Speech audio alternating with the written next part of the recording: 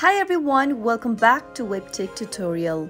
In today's video, I'm going to show you how to increase Telegram download speed on your mobile device. Watch the tutorial till the end and don't forget to subscribe to our channel if you've not yet.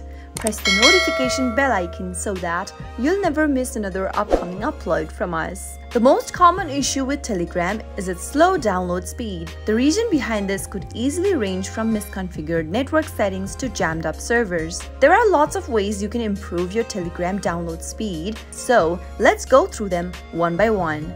The first thing to do is to make sure you close all the background apps on your mobile device. If you are running several data hogging applications and services in your background, you may experience slow downloading process in Telegram. So if there is any apps running on your background, simply close it off and launch open Telegram and see if that fixes the issue. If it doesn't work, the next thing to do is to disable automatic data download on Telegram. Simply launch open your Telegram app and once you are inside the main homepage of Telegram, tap on the settings button at the bottom right hand corner. Go to data and storage option from the display.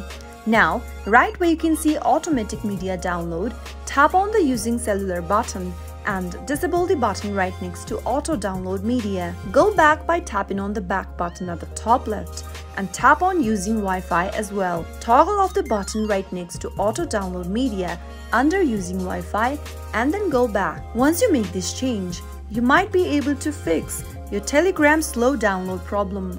Another thing to do is to disable data saver. Enabling a data saver on your phone can limit an application's ability to use data freely. So in that case, launch open settings from your iPhone and select Wi-Fi. Tap the info button right next to your Wi-Fi and make sure to turn off the option right next to low data mode. Doing this will help you increase your Telegram download speed on your mobile device. If you've enabled any VPN, then make sure to disable your VPN since disabling your VPN might help you improve the situation and it might speed up Telegram downloads. Those were some of the steps you could follow in order to increase your Telegram download speed on your mobile device. I hope you found the video to be helpful. If it was, go ahead and give us a thumbs up. I'll be back soon with more videos like this. Thank you for watching.